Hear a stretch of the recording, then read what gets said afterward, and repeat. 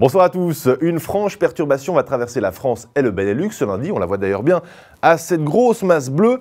Le temps s'annonce donc très agité sur l'ouest de la France avec des averses orageuses et du vent assez fort suivant les régions.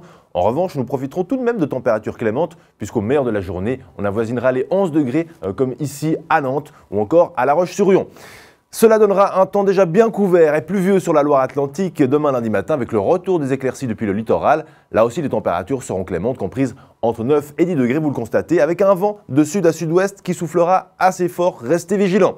Une météo encore bien agitée pour l'après-midi, entre nombreux nuages, de courtes éclaircies et des averses parfois orageuses. Le tout toujours avec ce vent de sud-ouest fort et en rafale, notamment sous les averses. La grêle et le grésil seront possibles.